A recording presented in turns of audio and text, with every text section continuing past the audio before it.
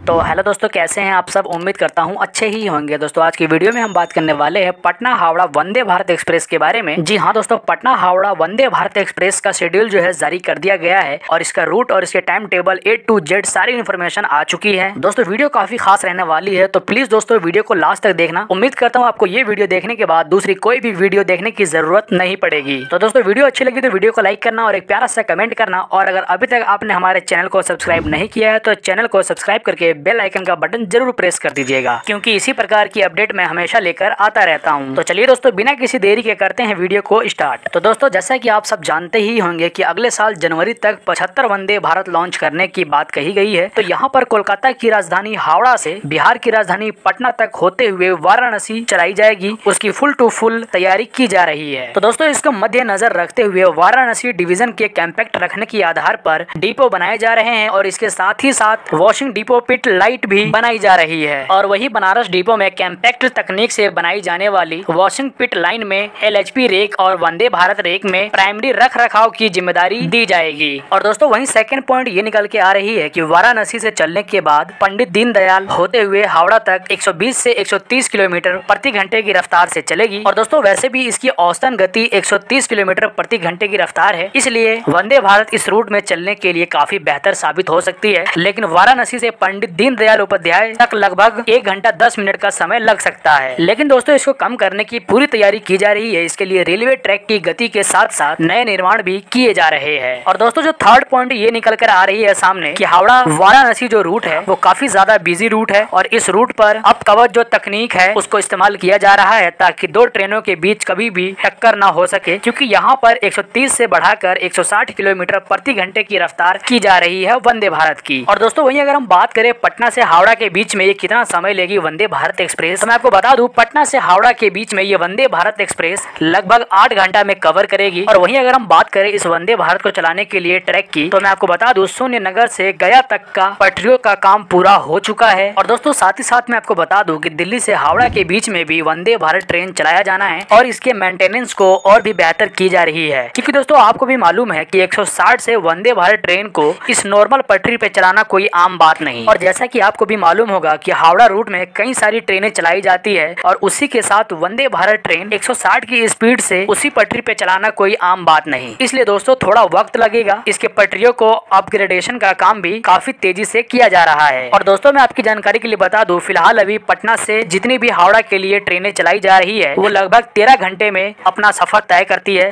मगर वहीं अगर हम वंदे भारत ट्रेन की बात करें तो ये आपको लगभग आठ घंटे में पटना से हावड़ा तक का सफ़र कवर करेगी। और दोस्तों, वहीं अगर हम इसके रूट मैप की बात करें तो ये वाराणसी से निकलने के बाद पंडित दीनदयाल उपाध्याय, दिलदार नगर, बक्सर, आरा जंक्शन, दानापुर जंक्शन के रास्ते होते हुए तब जाकर ये पटना पहुंचेगी। उसके बाद वहीं पटना से निकलने के बाद बख्तियारपुर के रास्ते होते हुए झांझा, उसके बाद आसनसोल, माधोपुर के रास्ते होते हुए तब जाकर ये हावड़ा पहुंचेगी। और दोस्तों, जो स्टेशन मैंने आपको बताया, इसी स्टेशन पर इस वंदे भारत ट्रेन को चलाया भी जा सकता है, क्योंकि दोस्तों, ये काफ़ी शॉर्ट रूट माना जाता है, जो वाया गया कोडरमा वाले रास्ते से चलाया जा सकता है। और दोस्तों, अगर हम इसकी टाइमिंग की बात करें तो ये हावड़ा सुबह पाँच बजकर पचपन मिनट पे खुलेगी और दोपहर में बारह बजकर पैंतीस मिनट पर पटना पहुँच जाएगी और वहीं शाम को चार बजे वाराणसी पहुंचेगी। तो दोस्तों फाइनली आठ से नौ घंटे का समय लेगी ये साठ सौ साठ किलोमीटर को तय करने के लिए, जो हावड़ा से वाराणसी के बीच में पड़ता है। तो दोस्तों, अभी तक मैंने आपको जितना भी अपडेट के बारे में बताया, वो सभी एक मीडिया रिपोर्ट के अनुसार बताया गया था। इसलिए अभी आप इसको कंफर्म मत मानिए। जब तक रेलवे की तरफ़ से कोई